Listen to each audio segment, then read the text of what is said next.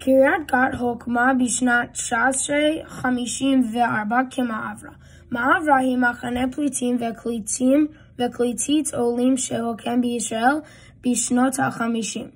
הופכת אותו לאחד הפרויקטים הציבוריים הגדולים בתולדות ישראל בשנת 1992. ראש העיר קריית גת אבירם דהרי. Uh, בקריית גת נשלטת ברובה על ידי אנשים בגיל העמידה. קריית גת נשלטת על ידי יהודים. היהודים הם 93% מהאוכלוסייה. קריית גת מקומת במחוז הדרום.